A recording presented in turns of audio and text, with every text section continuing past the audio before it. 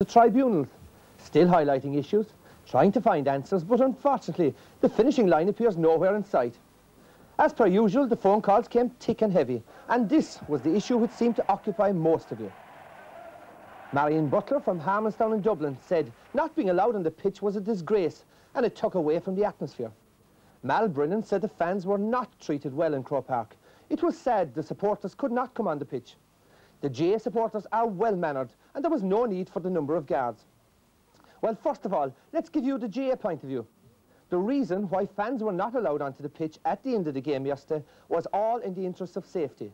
The Public Safeties Authority have decreed that it is dangerous for fans to assemble on the field after the game, and the GAA are obliged to carry out its obligations in this respect. Yet Fergal of was quick to point out the inconsistencies in the application of this particular decree.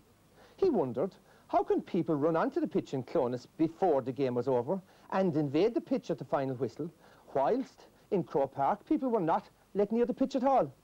Well spotted, Fergal. It would appear to me that the only place that this particular decree is being implemented is Croke Park.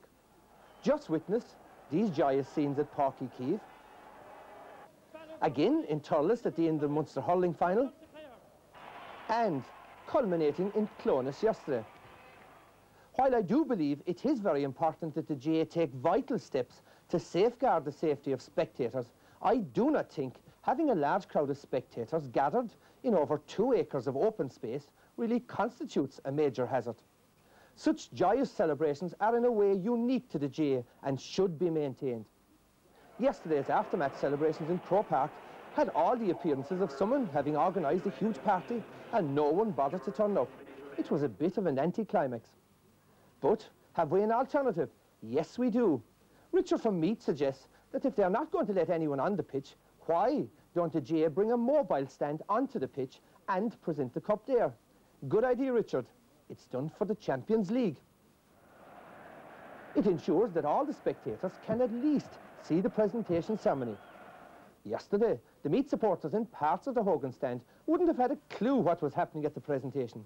And maybe, just maybe, it might bring an end to those long, audible presentation speeches. Or is that just wishful thinking on my part? Up in the north, it was this issue which seemed to occupy many people's minds. Paul from Tipperary wondered how come a player could become involved with the opposing manager without being sent off. In this instance, given the strict refereeing directives that are supposed to be in operation nowadays, Ross Carr can consider himself very, very lucky not to have received a red card. Although, it must be said, given the ease with which Brian McAlinden went down, a career as a boxer would certainly be out of the question for the Armagh man. Yet, on the same issue, Jerry McDermott from Celbridge quotes Rule 5 from the rule book. He maintains there is no rule in the book covering an incident between a player and an opposing manager. Rule 5 manager is not mentioned. Now, that sets the cat among the pigeons.